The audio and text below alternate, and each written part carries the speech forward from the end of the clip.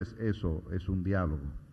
Y la Junta Central Electoral reitera valor y felicita a cada uno de los actores políticos aquí presentes por su colaboración en este esfuerzo materializado en la cumbre.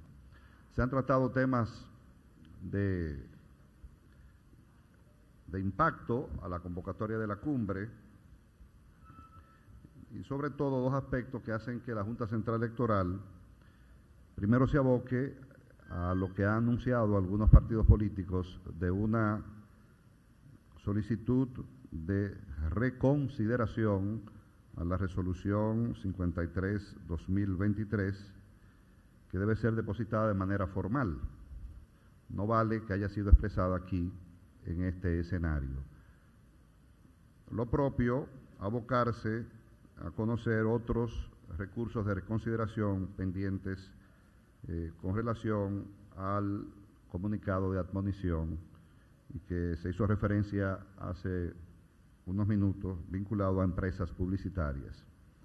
Hay un sinnúmero de aspectos de suma relevancia que están acá como situaciones de el financiamiento político, la comunicación que debe tener el Pleno de la Junta Central Electoral con los partidos políticos, el artículo 27 de la Ley 2023, una propuesta de protocolo de comportamiento electoral,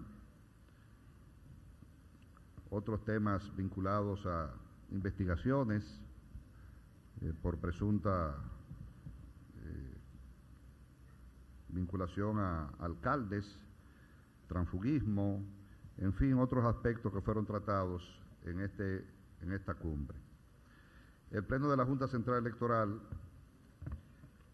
va a abocarse primero a conocer de estos recursos de reconsideración, a valorar cada uno de los aspectos aquí planteados y convocará a una reunión, no ya una cumbre, una reunión como la solicitada por ustedes, eh, para presentarles eh, resultados con ocasión de esta cumbre en los próximos días.